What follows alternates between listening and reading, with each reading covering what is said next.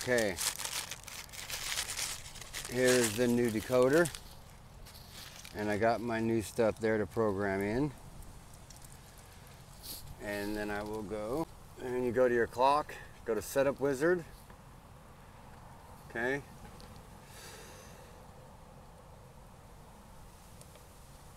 Station setup. Okay, and now I want to go to 10. 10, 6 -0. Okay, I'm going to change the decoder. I'm going to change this address here to this address, okay? It's pretty simple once you figure it out. Next. Okay.